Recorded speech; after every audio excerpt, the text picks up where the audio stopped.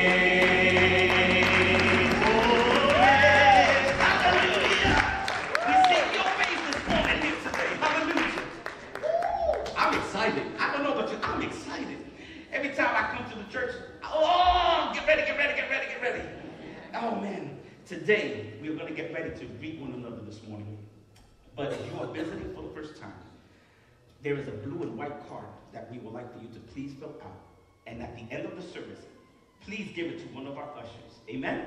Let's all greet one another.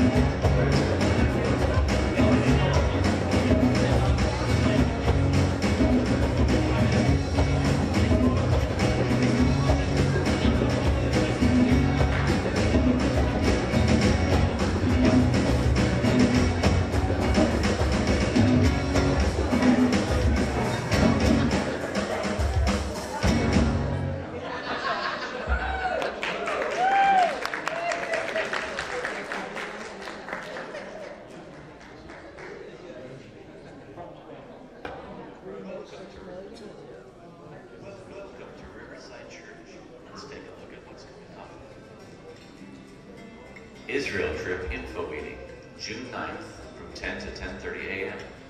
Find out more about our 2020 trip to Israel. Travel dates, prices, and deadlines are some of the topics that will be discussed. No fees are due at this time. This is simply a meeting for those who have a desire to go.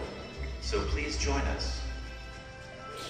Seniors Breakfast, June 13th, 8 a.m. Breakfast takes place at the Pelican Diner, located at the Sebastian Municipal Golf Course. Breakfast is Dutch. Sign up in the foyer. Help us set up for Splash Camp, Friday, June 14th from 9 a.m. to 5 p.m., and Sunday, June 16th from 12.30 to 2.30 p.m. Sign up in the foyer. Movie night, Sunday, June 23rd, 6 p.m. We'll be watching Unbroken, Path to Redemption. Stay for ice cream for a donation to Youth Retreat. Riverside Church will be at Sebastian's Freedom Festival once again this year. If you would like to walk in the parade and help us give out candy, beads, and invite cards, meet us at the Sebastian Community Center at 8 a.m. on Thursday, July 4th. Look for the Riverside Church bus. Can't walk in the parade? No problem. After the parade, we will be at Riverview Park. Join us as we hand out free water, pray for folks, and share the gospel in the Godmobile. This is not an all-day commitment. There will be seats at the prayer booth and in the Godmobile, so if you can't stand for long periods, that's okay. There are brief time slots throughout the day, and you won't be working alone. Sign-up sheets are in the foyer, so choose an area of ministry and a time that works for you, and join us. We can't do it alone. For more information on these events and more, pick up a bulletin in the foyer. Thanks for coming. We're glad you're here. Yes, we are glad that you're here. Don't you think Donovan does a great job of voiceover? I think you found your next calling. Radio. Hallelujah. He also does a lot of voices too, but we won't go there. Anymore, so. No, he does. He's good. Hey, if you haven't picked up your new devotional, they're out in the lobby. We'd love for you to take one. You can take one to a friend. We have plenty. We'd love to give these out. This is our gift to you uh, each and every quarter. This is the June, July, August. And so if you'd like to put it on your smartphone and you want to uh, do that, there's uh, instructions on there, a little code on the back for you to do that. We'd love for you to participate and read the Word of God. We're trying to get the Word of God into your hearts so that it can change you because faith comes by hearing. and hearing by the Word of God. And so always get the comment, well, it's not enough. Well, listen, you ain't doing anything else right now, so why don't you just do that and start? Come on, somebody.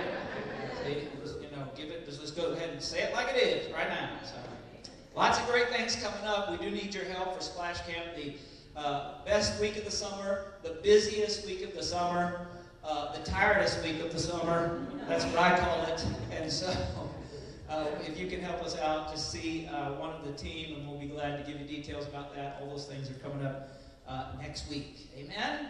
Who's a happy, hilarious giver today? Amen.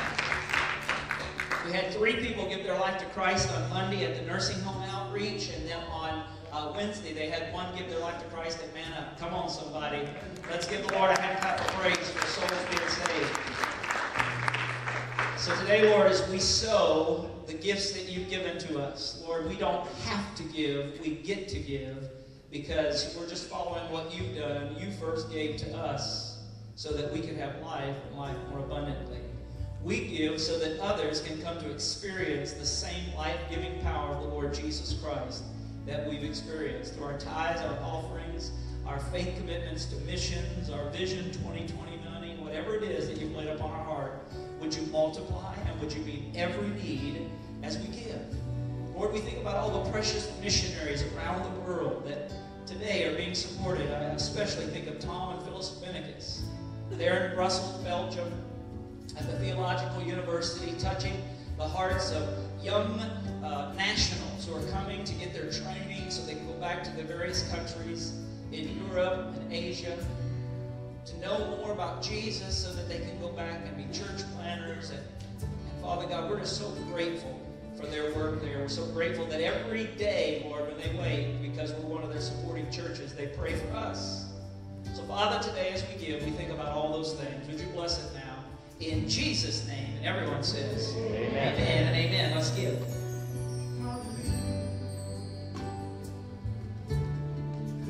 Ooh,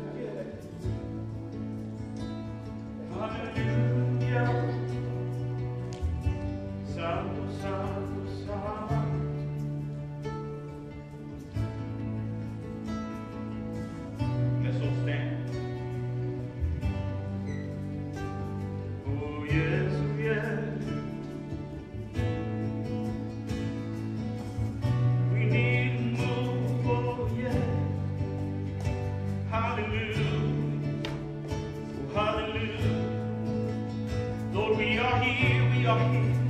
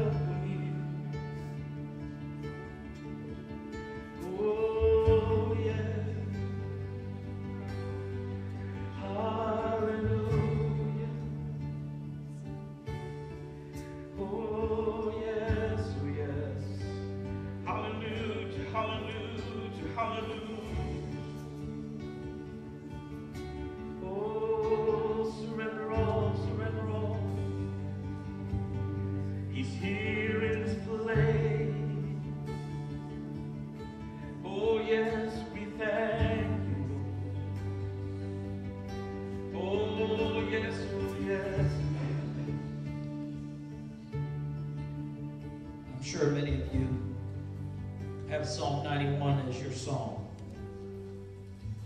Verse 1 says, He who dwells in the secret place of the Most High. Don't, don't miss when, when you read the scriptures. Some of you read so fast you miss words. He wants us to dwell in the secret place. Some of you right now, you're in a rush, you're in a hurry, you're trying to get through, you're trying to put the, the check mark on the box and say, Up, I went to church, I'm good. Listen, take just a moment and let His presence change you.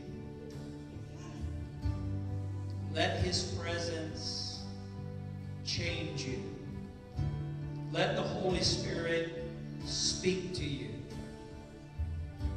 Let him reveal the heart of Jesus, which reveals the heart of the Father.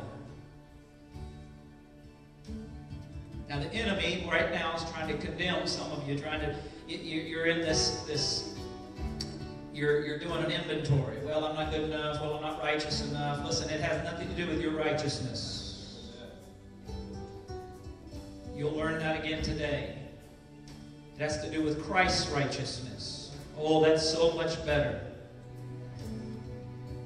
Close yourself off for just. Don't worry about the person in front, beside, behind you. Don't worry about what's waiting for you at home. Don't worry about the doctor's diagnosis. Don't worry about what's in or lack that's in the checkbook. Right now, let's dwell in the secret place.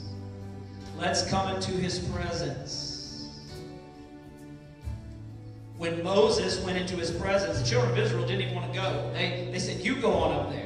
When he went in and came back down, his face shined with the Shekinah glory so much that people couldn't even look on his face because he'd been changed. When Saul, who later changed his name to Paul, was confronted with a vision of Jesus on the road to Damascus, he was literally stricken blind because literally he was spiritually blind already.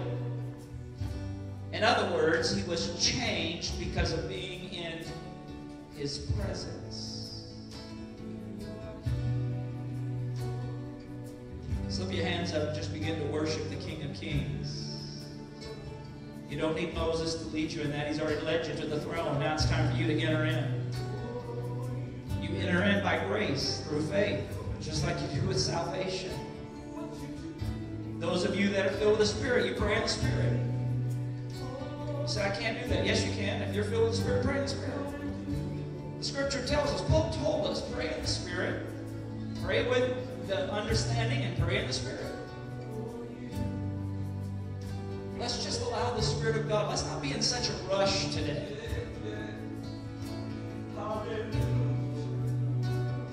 they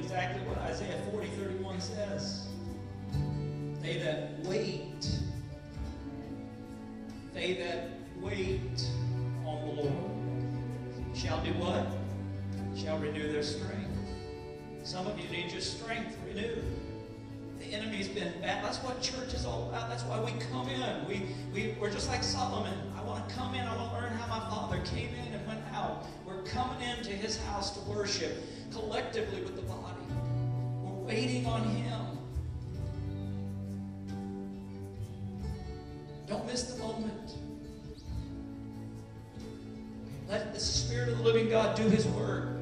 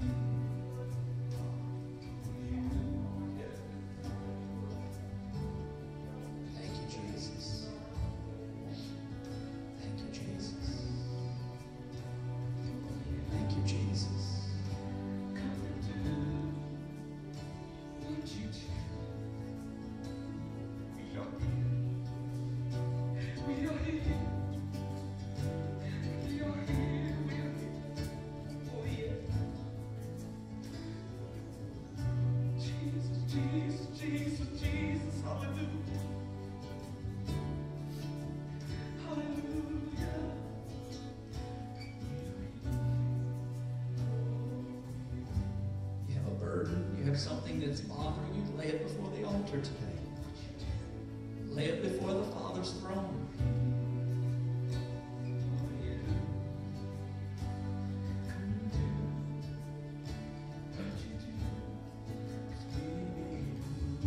Trying to make a decision? Ask the Father for wisdom. Ask the Father for knowledge. Let the Holy Spirit bring it. Folks, if His Word is true, it's true. We know it is. His promises are yes and amen. We're just practicing the promises. We're just allowing the presence to move. It's what Holy Spirit does. He just waits for the invitation.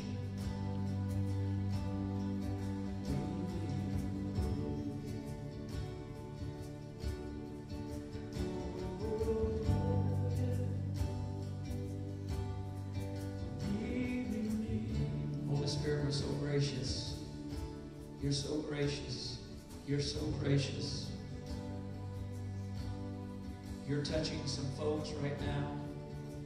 Others are wondering what in the world's going on. And in all, you're right there in the midst, bringing your presence, allowing Jesus to be glorified, revealing the Father's heart to those who need the touch of the Master's hand today. So we give you full permission. We give you full permission. There's some who need a miracle today, Lord.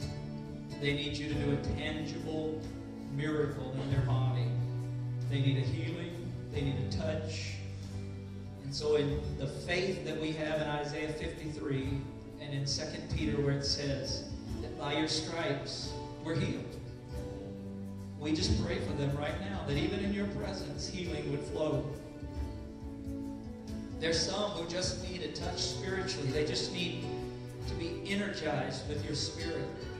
May they learn how to dwell in the secret place, not just when we're together, but all the time, Lord, so that they can renew their strength and they can find that touch. There's those that have their mind is so caught up with so many things. The enemy is just bombarding them with all kinds of stuff fear, doubt, unbelief. So we just come against the enemy right now. We pray that their mind would be put at peace. The peace that passes all understanding, that guards their heart and keeps their mind fixed on you. I, I pray today, Lord, that they literally shift their mind to think the thoughts that God wants us to think, what Paul told us in Philippians. Shifting our mind to think what Jesus wants us to think, having the mind of Christ. so that they can be at peace. They can be at peace. So, Holy Spirit, throughout this service, would you just continue to do your work? Would you continue to just touch? Would you continue to just minister? We pray that for every church that meets in your name in this community today. Because we don't minister alone. We're not the only part of the body of Christ here in Sebastian. We don't care what the label across the door is. We don't care how they worship. We don't care where they worship. We pray, Lord, that you would just meet them right where they are with your presence, letting the Holy Spirit reveal the heart of Jesus, magnifying the Word, the Bible, so that change and transformation can come. Do it today, Lord. Do it today. We pray for our nation.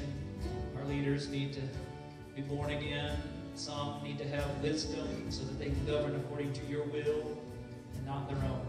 So we can live in peace, no matter what party, no matter what side of the aisle they sit. Pray for the peace of Jerusalem. May your people on this Pentecost weekend, Lord God, as they celebrate, it's a celebration of the harvest.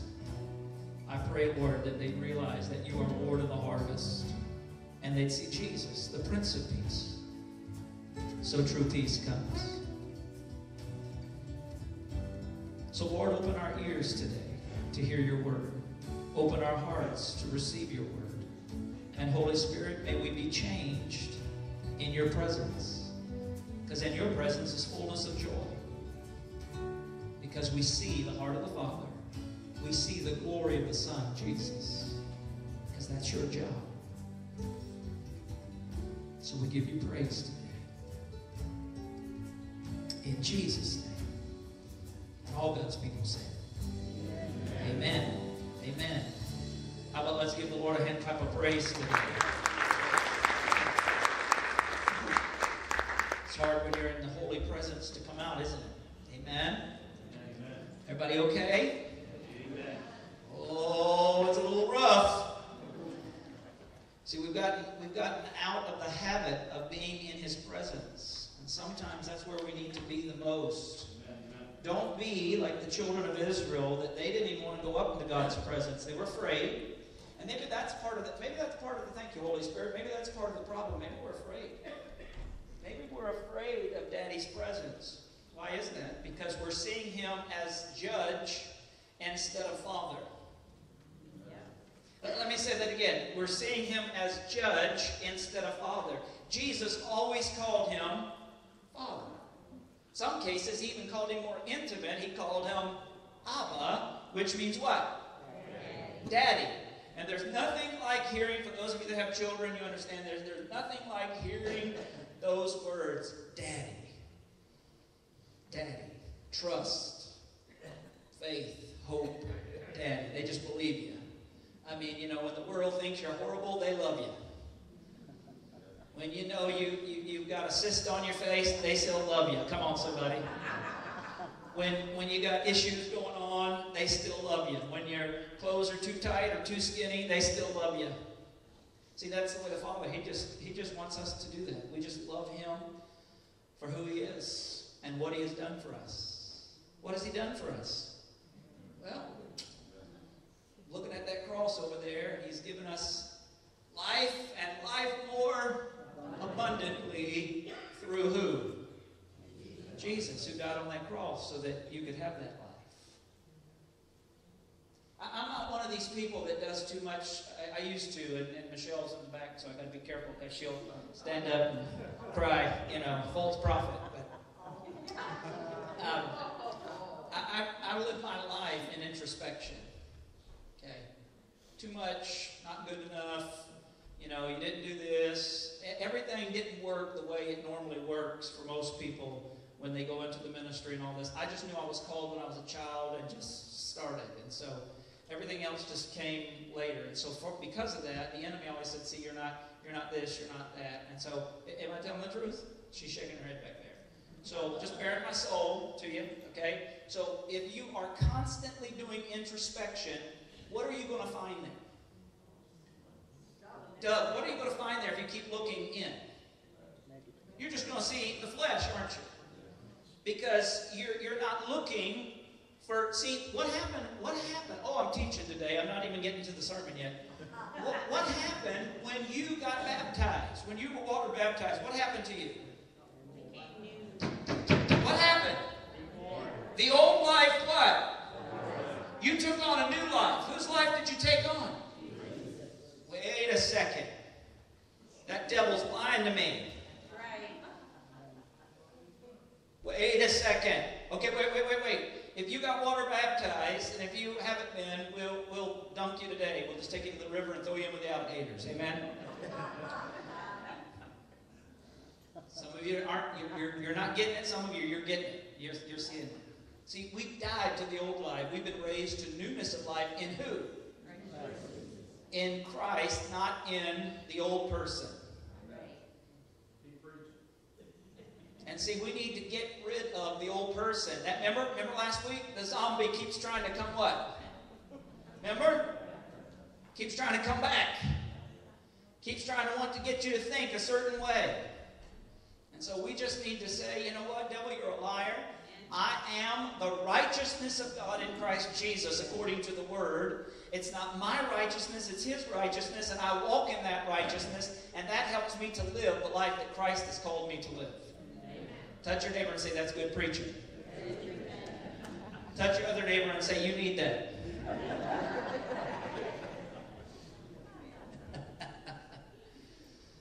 Oh. Okay. Matthew 16, 19 says this. We got from Jesus, he said to us, I will give you the keys of heaven's kingdom realm to forbid on earth that which is forbidden in heaven, and to release on earth that which is released in heaven. This is the Passion Translation. In other words, Jesus gave us keys to be able to unlock some things. And we've taken these to be keys to breakthrough, keys to getting breakthrough in our life so that we can see the things of God that He wants to operate in our life. The first key was surrender. And we used the widow of Zarephath who uh, had the little jar of oil and the little bag of flour, and she uh, surrendered that to the will of God. She surrendered that to take care of the prophet, and because of that, she saw her breakthrough that God was Jehovah Jireh, her provider, and that literally every time she went back to the little pot, guess what? You're so enthusiastic about what God does. You'd shout the victory if you saw every time you went there and it was empty when you just cooked, and when you went back, it was full again. And when you cooked, it was empty. And when you went back, it was full again. And when you cooked, until the, fa- until the famine, the, the drought was over. Surrender. The second key was obedience. We used the life of Abraham, of course. Abraham taking the child of promise. After 25 years, they waited on the promise. They took the child, and, and God one day said, uh, Abraham, and here he said, Here I am. Don't you, don't you see the faith of Abraham? Don't you see? I mean, he didn't, he didn't balk, he didn't question. He knew that God had a plan, God had a way. He was just obedient. That's a surrender, obedience. Put them two together. Then last week's key, consecration. Hardest key so far. Hardest key is the third key, consecration, which means set apart, which means we've literally decided that we're going to deny ourselves. Okay. This is the hardest part of the consecration key. If you constantly are using, it's all about you, me, I, well, mine, you've got a problem with consecration. Okay? You come in and you go, you know, I really don't like the music in this church. You know, I really think it's too cold. Well, I really think it's too hot. Well, I really think that pastor should shut up and preach. Well, I really think this. Or, well, you know, at my church up north,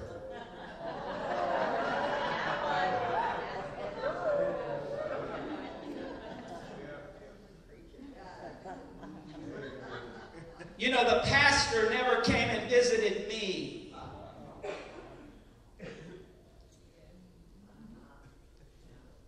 Oh, it got real quiet. Are we consecrated? No, because consecration leads us to what?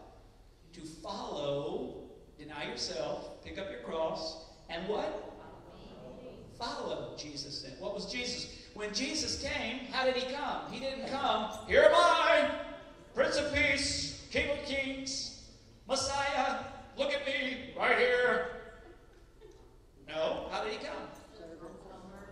As a what? Servant. Servant. Demonstrating that even to the 12 when he got down on his knees and he washed their feet. Right. And it depends on which gospel you read, but I think one of the people that would have been the hardest to wash would have been Judas's feet. Yeah. Because you wanted to take that towel and put it around his neck and choke him. That would have been my flesh, not Jesus. Am I helping anybody today? See, this is the problem. We, we're not consecrated. Consecration is not for the new believers because unfortunately they're still in that, that, that me, me, me stage. I need my blessing. I need all the goodness of God. That's wonderful. But you know what? Sometimes we got, you know, sometimes we get blessed when we when we learn how to serve somebody else. The very thing that we need the most, you know, our healing or whatever, we're praying for somebody else's healing. Or finances, we give to somebody else's need, or we bless somebody else, or we take care. Isn't that interesting? It's like all of a sudden all of our stuff's taken care of. Oh, get off that, Pastor Brandon. All right. All right. So, the second, the fourth key, and I've got more keys, don't worry. The fourth key, every time I think I'm done, Holy Spirit gives me at least another one. So I got three more even after this one. The next one we're going to talk about is, I'll explain it in a minute. Zechariah 4 6 is our power verse. Go back, go back, go back. You guys jumped too far. Come on. Hello. There we go. Zechariah 4 6 says this Not by might, nor by power, but what? By my spirit. Says who? The Lord. The Lord of hosts.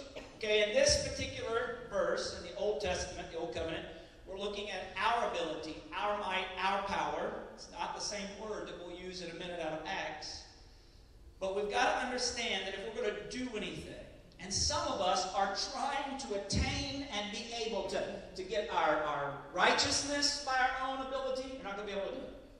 We're trying to attain our, you know, things in, in you know, our, our family, our situation, our circumstances. We're doing everything we possibly can. And Daddy God says, listen, you're working too hard because it's not by your ability, but it's by my spirit. And that's what Pentecost is all about. That's what it's all about. If we could just understand what he wants us to understand. I don't think it's by chance that it happened. Pentecost uh, means harvest, it means 50th. It's 50 days after Passover. And so here we are this particular year. Every year it moves a little bit because the Jewish calendar is different from our uh, calendar. The reality is they're celebrating, it's a celebration of the harvest. And so we want to look at that. So um, I want to read to you um, several scriptures and be able to give you this key. And the fourth key today is dunamis. Dunamis is a word that you'll see in Acts chapter 2, uh, a Greek word, and we'll explain that as we go along. I have two scriptures, uh, two uh, sets of scriptures, one out of Acts 1, verse 8, and then uh, the story which we want to take today, which is the day of Pentecost. Everybody okay? Because you got awful quiet. And whenever you get quiet in children's church, it means it's about the better to be an insurrection. So I don't want you to bum rush me and tie me to the cross today. All right, here we go. Acts chapter 1, verse 8. Who's speaking here?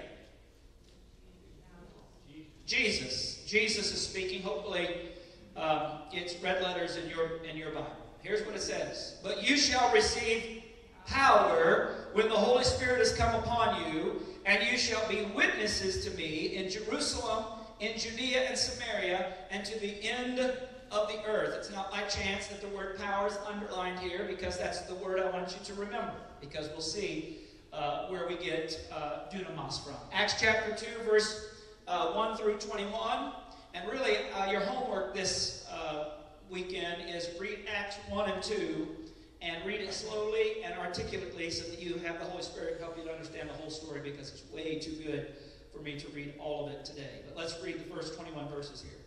When the day of Pentecost had fully come, they, you know, the apostles and those that were gathered, were all with one accord in one place, and suddenly there came a sound from heaven as of a rushing mighty wind, and it filled the whole house where they were sitting. And then there appeared to them divided tongues as a fire, and one set upon each of them, and they were all filled with the Holy Spirit, began to speak with other tongues as the Spirit gave them utterance. And there were dwelling in Jerusalem Jews, devout men from every nation under heaven. And when this sound occurred, the multitude came together and were confused because everyone heard them speak in his own language. And then they were all amazed and marveled, saying to one another, Look, are not all these who speak Galileans?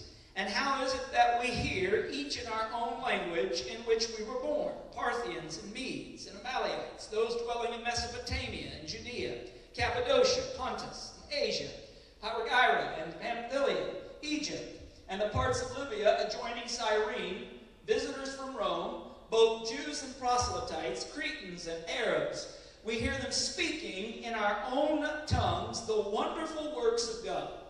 So they were all amazed and perplexed, saying to one another, Whatever could this mean? Others mocking said, They are full of new wine.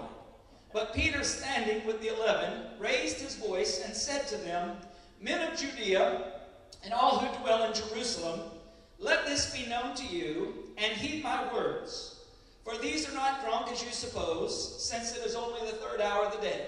But this is what's spoken by the prophet Joel. And it came to pass in the last days that God will pour out my spirit on all flesh. Your sons and your daughters will prophesy. Your young men shall see visions. Your old men shall dream dreams. And on my men servants and on my maidservants will I pour out my spirit in those days, and they shall prophesy. I will show wonders in heaven above and signs in the earth beneath blood and fire and vapor of smoke. The sun shall be turned into darkness, and the moon into the blood, before the coming of the great and awesome day of the Lord. And it shall come to pass that whoever calls on the name of the Lord shall be saved. Isn't that good news? That whoever calls on the name of the Lord. Look at your neighbor and say, Aren't you glad you're a whoever? You're a whoever. Okay. So, here we have the day of Pentecost. So much controversy with this topic. So much issue right here. And I believe that the reason is because the enemy wants us to stay away from the power. Because if we get filled with the power, the very scripture that Jesus spoke, the gates of hell shall not be able to prevail against his church, right? The enemy knows that. And so he keeps this all in just disarray. We have those that, that get too so involved in, in the things of the Spirit, they become so heavenly minded, they're no earthly good, and they get fleshly, and they start living lascivious, and they do dumb things, and they start calling things that aren't even holy, holy. And, and listen, I've grown up in church, I don't know anything but church, and I've seen the good, the bad, and the ugly, let me just tell you. I'm convinced that church is full of granola fruits, flakes, and nuts. And if you think I'm talking to you, yes, I am. So we'll just put a little milk on you, maybe that'll soften you up a little bit. Come on, somebody. The reality is, you go that way, or you come to this extreme where we have the group that says that everything that happened in the book of Acts ceased and we no longer need it. We no longer, it's not available to us. And so we don't need this power. You know, this week we had to buy new vacuum cleaners for our cleaning staff. And we have the best cleaning staff on the face of the planet. I'm just going to tell you. Now, is that not a fine looking vacuum cleaner? I mean, first off, it's clean because it's new. Vicki hasn't even been here. It's her birthday this weekend, so she's going to see her brother in North Carolina. But Ashley, her daughter-in-law, has been cleaning, and she was so thankful for the vacuums. We had literally had our vacuums into repair so many times, and we actually bought a vacuum that would work on our new carpet. We did it by faith because, as you can see, we're still on the old carpet. Come on, somebody. And the new carpet has to have a new vacuum because it's squares, and these vacuums will actually suck the squares up because it's so strong. Well, the new vacuum doesn't work on this carpet because for some reason it just doesn't suck uh, hard enough. So we had to get, uh, we found these on the internet. Now in this one, let me, let me just let me just demonstrate it for you here. Look at that, isn't that wonderful? Doesn't it do a good job? What, what's the matter with you? Oh, some of you, you don't even know. I used to, I could do this better than all of you. I'm a janitor by trade. Come on, somebody. I'll clean you outside the church. Come on, somebody. Vicki says I'm the best person in the world to work for because if it don't get cleaned, she knows I'll just come behind her and I'll clean it. Come on, somebody. But doesn't that work good? Look at that. Doesn't that work good? Tony, doesn't that work good? It a what? No power. No power. Oh. Isn't that interesting? This is what some of you look like right here. You're beautiful. You're changed. You're cleansed. You're righteous. But you got no got no power. You got no power. Because you haven't plugged in to the power source. Oh, it's available to you. Did you know? Did you know that there's power running all over where you're at right now? Over your head, alongside the walls, some even under the um, under your uh, seats, uh, because there's conduit. There's conduit in this building.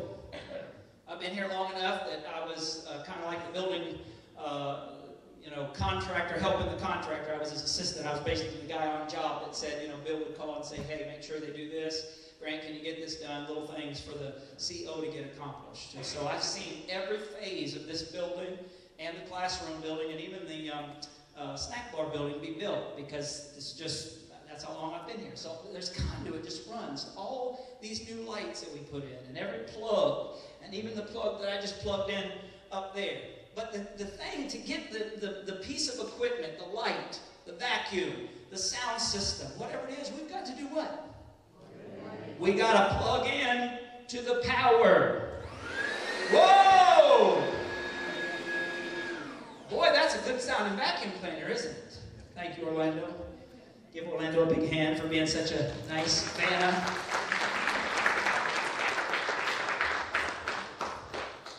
Like to use that later, we'll let you vacuum the whole sanctuary. So.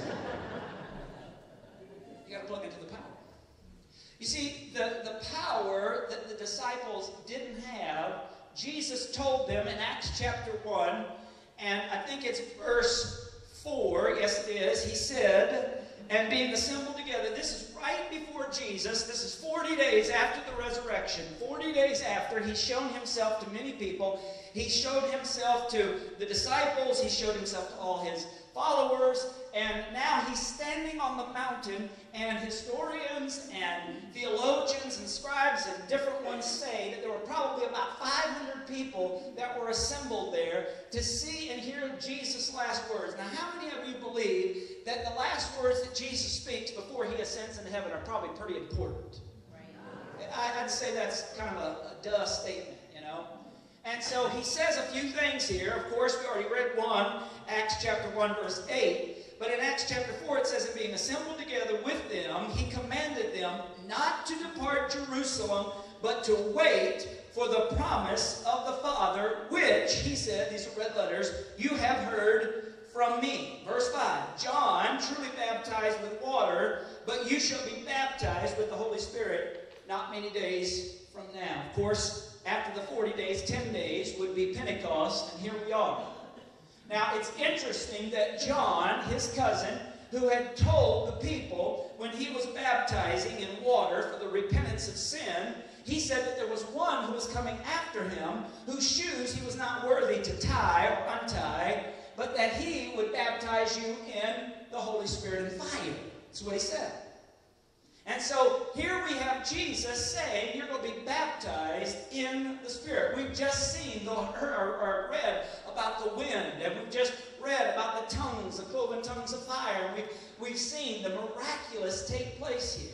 And, and I get some of you got some issues and some problems. And listen, you're just going to have to trust the Holy Spirit. You're just going to have to commune with Him and dwell with Him so that you can have some understanding. Friends, let me tell you something. I'm not neither can. I'm not over here being wacky and tobacco, and I'm not over here saying it's all ceased and desist. Because listen, if that's the case, if that's the case, then there's nothing in Scripture that you need. Let me say that again. If everything is ceased, if, and I know there's a huge contingency out there. I've read more books by people that I highly respect who think that we're literally, my, my, my people, my Pentecostal charismatic people, are not going to heaven. They're convinced of it because we believe the book cover to cover, Genesis to Revelation. We believe that the Spirit of God is still alive and well and still wants to move on the earth today. Yeah. So, so I always ask my cessationist brothers, if you don't believe that the Spirit of God is still moving, then how are you saved? Oh, you didn't hear me. How did you come to Christ? Because the Holy Spirit of God is the very one who has to woo you to Christ. He's the one that gives you the ability to say Jesus is Lord. That's the beginning. And see, the reality is, if this is the case, then everything there is not necessary for us.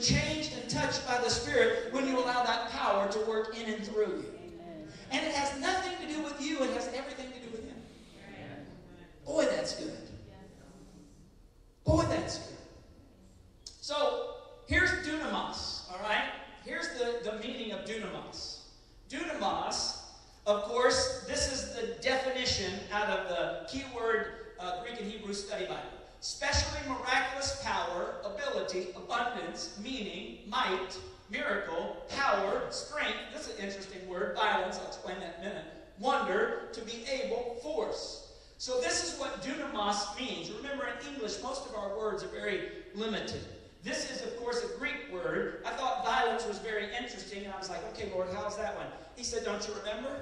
The kingdom of God suffers violence, and the violent take it by force. That's right. Now, what does that mean? That doesn't mean we're out killing people, but that means we're being vigilant for the things of God. We're being forceful. We're using the strength, the power to be able to live the life that God wants to us. Do you know what we get in English for the word dunamis? We get a word that we use that if I lit a stick of it and threw it in this room, everybody in the room would run out. That's where we get the English word dynamite. Because what does that dynamite do? It does what? It's power, it's force, it's strength, it's ability. Think about all those tunnels y'all been through up there in the mountains. How did they get there? They didn't pickaxe them. No, they stuck sticks of dynamite. And they loved it. Have you ever seen them old boys when they're fishing with dynamite?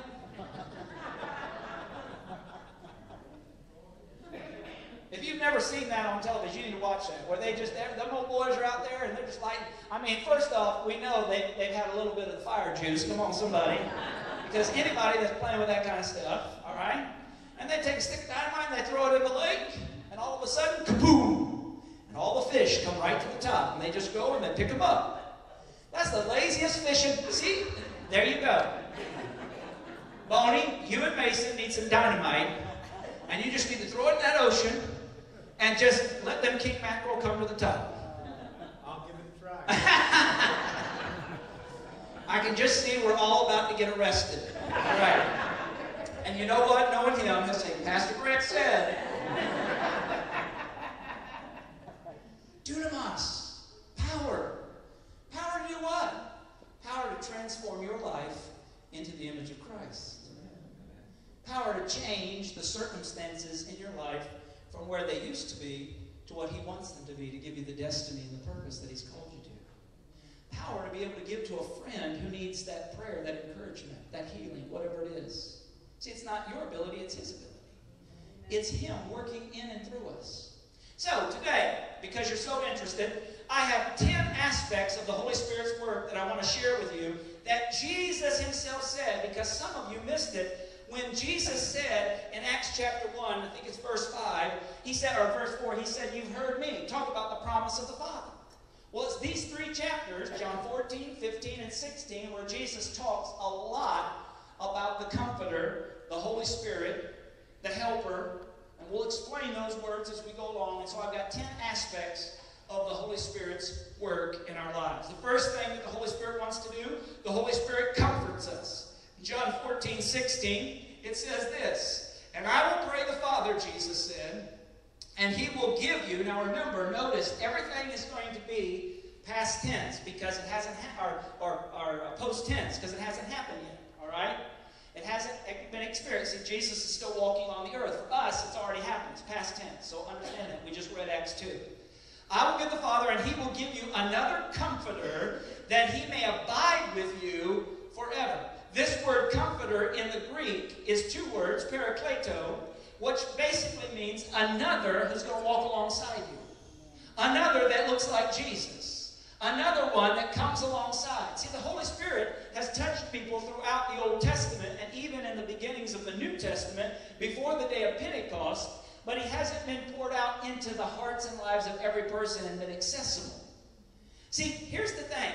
We look at this and we say, okay, I get it. He, he promised us a comforter. But notice, notice, see, the enemy wants to keep our focus on all the wacky tobacco stuff. And what's that comforter He comes that he may abide with us for what?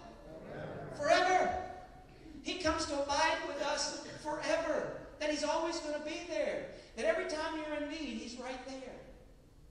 I mean, that's why when we come in to worship, we should expect every service to sense and know the power of God and the presence of God. Because that's what the Comforter wants to do. The Comforter wants to come when they say you got cancer. And then he just comes and he just covers you. You know what? She's cancer free. Did y'all know that?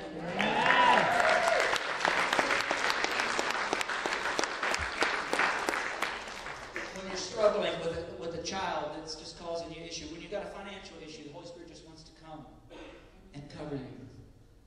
Go back to that scripture out of Psalms 91. He who dwells in the secret place of the Most High shall abide. Shall abide where? Under the shadow. The Holy Spirit's been sent to shadow you and show you the Father. Come on, somebody. Number two. Ten aspects of the Holy Spirit's work. The second thing is the Holy Spirit indwells us. John 14, 17. All right, here we go. The Spirit of truth, whom the world cannot receive because it neither sees him nor knows him, but you know him. Now, notice, remember, this is post tense, for he dwells with you and will be in you. Jesus telling the disciples. He says, listen, he says, right now, the Spirit's going to dwell with you, but he's not just going to dwell with you, he's going to actually be inside you. He's going to be inside you. Think about that. He comes to dwell with us. He comes to partner with us, to help us to see Jesus and have a fresh revelation every single day, to get our focus off of all of our difficulties and our problems and our circumstances and our situation, so that literally that dunamis power can constantly be working in and through us every single day, no matter what we're going through. The third and the fourth principle we put together here 10 aspects of the Holy Spirit's work. Number three is the Holy Spirit teaches us. Number four is the Holy Spirit reminds us. Look here at John 14, 26. But the Helper, the Holy Spirit, whom the Father will send in my name. Notice again, will. He's already been sent. Of course, this was before Acts chapter 2. Will send in my name. He will teach you all things and will bring to your remembrance all things that I have said to you. Now, listen. He will teach you all things. You've got to help by doing your part. The way you help by doing your part is you need to read the Word. You need to cover yourself with the Word. But how many of you have said before, I don't understand everything that's in this book? I don't understand. You know what? I have a hard time reading Revelation, or I have a hard time reading some of the prophets, or I have a hard time even understanding some of the things that Jesus said. Listen, that's what the Holy Spirit's job is. He's your professor, and he's free. He doesn't cost you any $50,000 college debt. Come on, somebody. He wants to teach you what? All things. And then, not only does he teach you, but he helps you to cheat on the exam. Come on, somebody.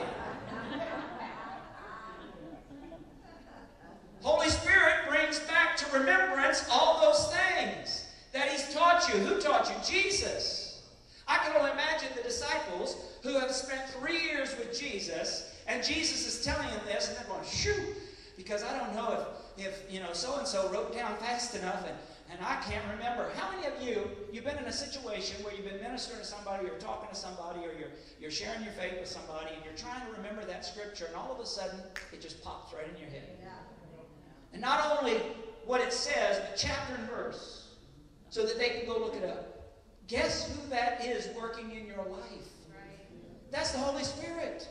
That's what He's called to do. That's what He wants to do if we will just allow Him. Let's give Him something to work with. Faith comes by hearing, and hearing by the Word of God. Spirit of God wants to teach us. He wants to remind us. This, for some of you, this is where some of you got some-timers. You know, sometimes you remember, and sometimes you forget. Aren't you glad Holy Spirit doesn't have some-timers? Come on, somebody. Number five.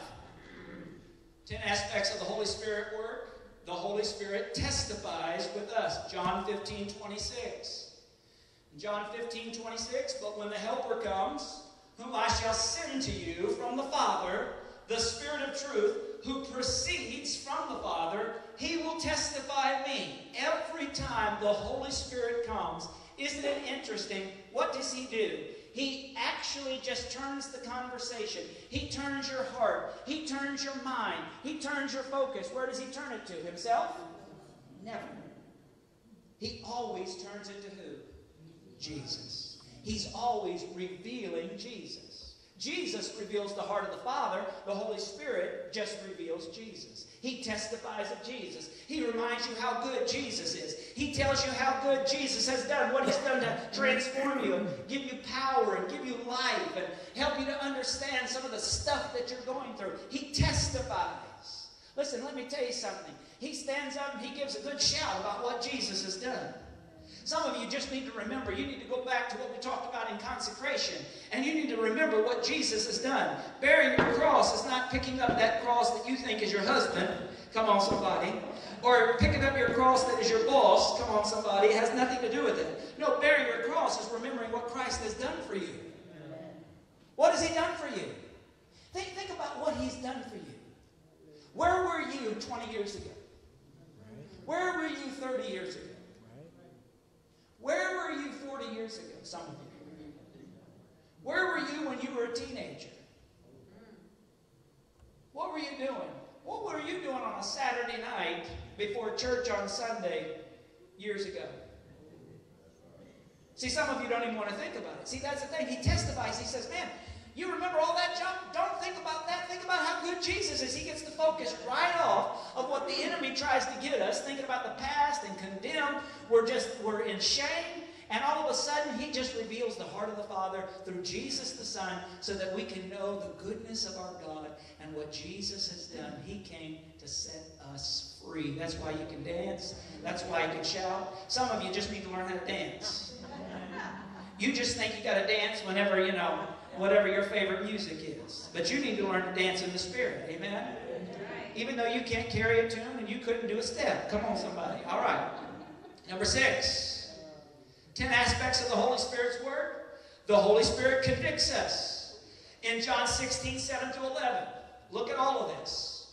Because there's two here, but I want to explain the second one. In verse 7, it says, Nevertheless, Jesus speaking, I tell you the truth. Aren't you glad Jesus never lies to us? Come on, somebody. Did you hear me?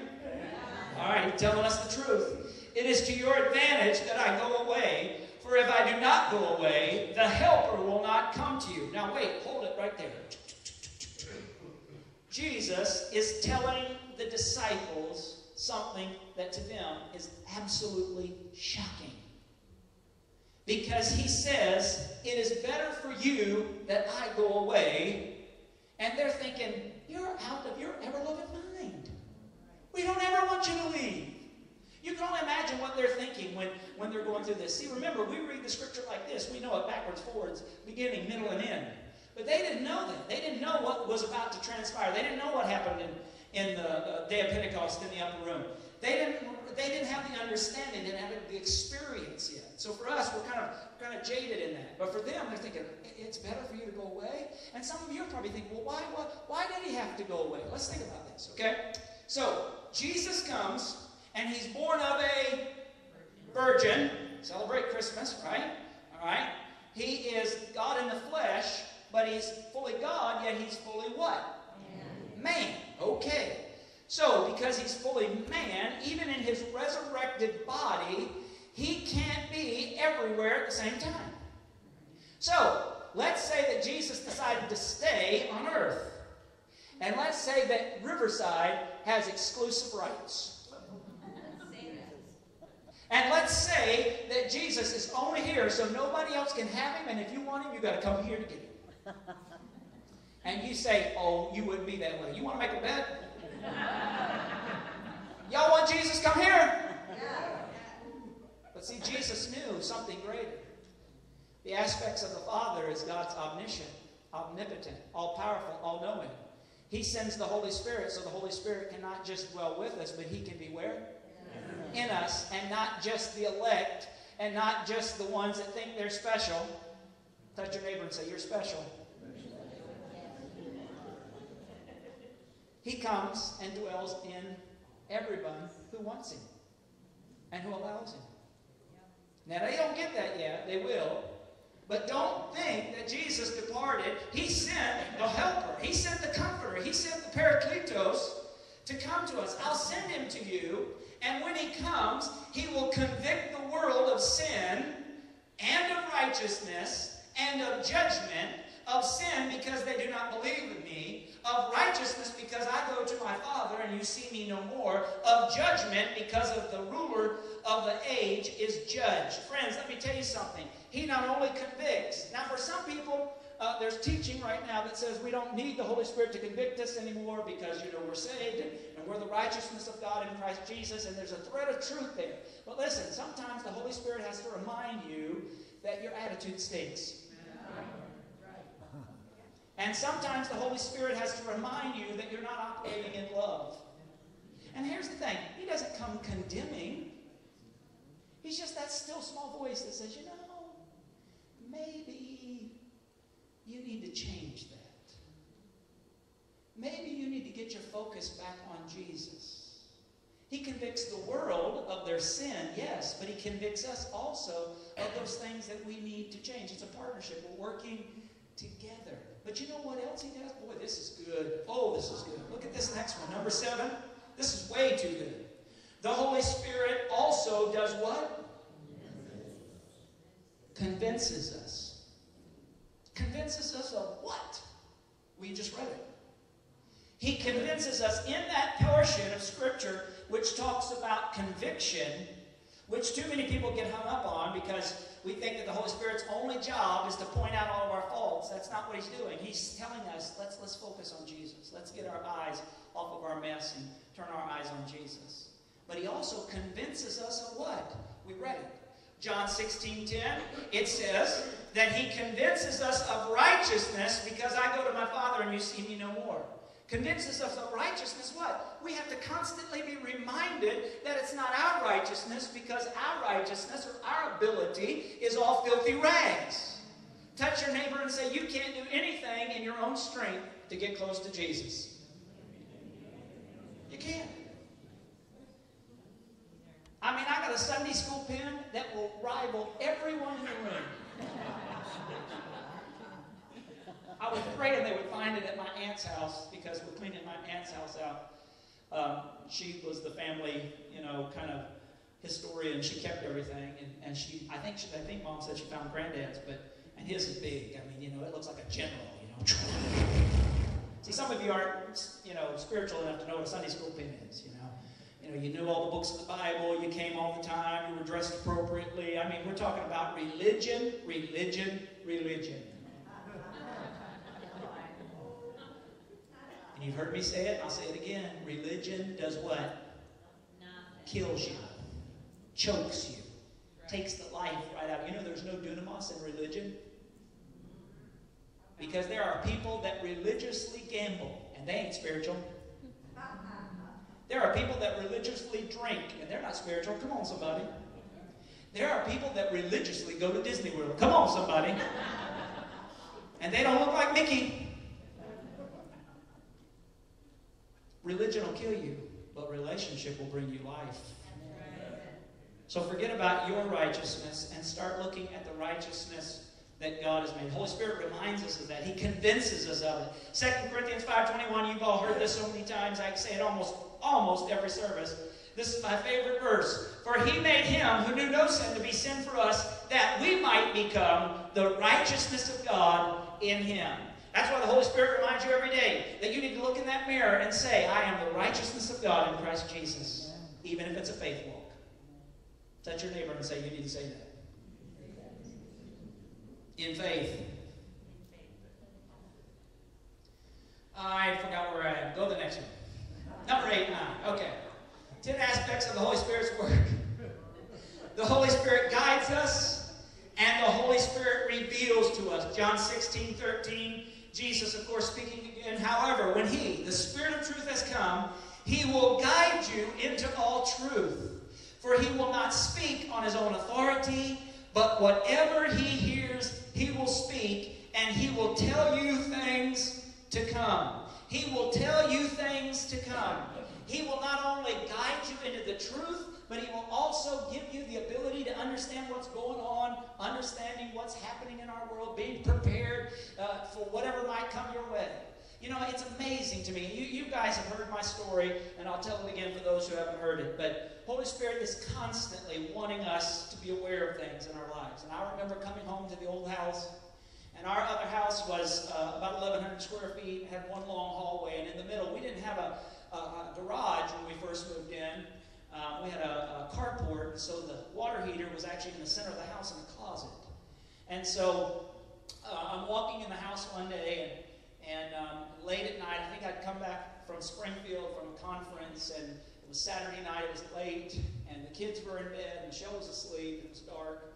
I remember coming in the house, and I remember hearing this when I passed the closet so plainly check the water heater. Now, you can say all day long that's your flesh, but I know it was the Spirit of the living God. The Spirit of the living God was telling me things to come. Because the next morning when I woke up, and I put my feet on the carpet. Come on, somebody. Slosh, slosh, slosh, slosh, slosh. And I'm going, did somebody let the toilet run? Is the shower on? And I'm looking and I'm trying to find it. There's no water in the bathroom. And so the carpet's wet. And I go out into the hallway and I look in the other bathroom and I'm still not paying attention. Holy Spirit's saying, you know, check the water heater. Open the door and he goes, told you.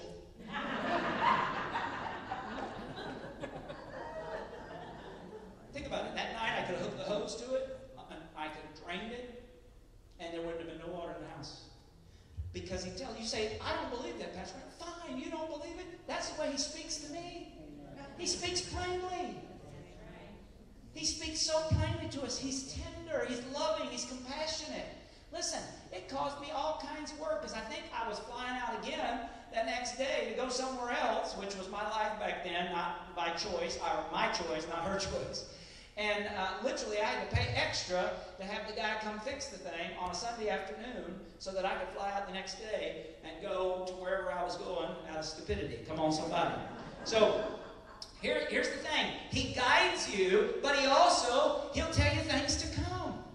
And, and He'll tell you things to come that you, maybe you're concerned about. Maybe you're worried about the world or all this. He'll help you. And the last thing, number 10, and I'm done 10 aspects of the Holy Spirit's work. The Holy Spirit helps us worship. John 16, 14. He will glorify me, Jesus said, talking of the Spirit, for he will take of what is mine and declare it to you. You know, Holy Spirit loves us when we sing about Jesus. He just, I'm telling you, when we're singing about Jesus, when we get the revelation, this, this is my prayer that, that those of you that are filled with the Spirit, those that even today will ask the Holy Spirit to fill them, that literally He will give you a fresh revelation of Jesus. Because when you understand what Jesus has done, who Jesus is, and what He has done for you, let me tell you something, it will totally revolutionize and radically change your life. You will be transformed in an instant. That's what Holy Spirit does. So, you're probably asking me, all right, I get it. I want this power. How do I get this breakthrough dunamis dynamite power? I'm so glad you asked. Because, again, remember, I, I've grown up in church and I've seen it fruits, flakes, and nuts. I've seen the extremes on all this. Do you know that I found a verse that Jesus himself said that makes it so, so easy? John, Luke 11, 13. If you then, being evil, know how to give good gifts to your children, how much more will your heavenly Father give the Holy Spirit to those who ask Him? Ask Him. Would you stand? Put your hands up like this. Those of you that really want to be filled, and those of you that want to be refilled, because we know that when the disciples were filled on the day of Pentecost, they came back a few chapters later, rejoicing in persecution, which is amazing. And they asked for more of God's Spirit, and He gave them boldness. He said, Holy Spirit came again. What do you need? Power to be able to live in this world? Peace to be able not to have troubled mind? Holy Spirit wants to do it. Stretch your hands towards heaven. Say this after me. Those of you that want it, you just believe it in your heart because we're asking today. You're saying, Father, I thank you that Jesus said he was going to send another comforter to help her. And so right now,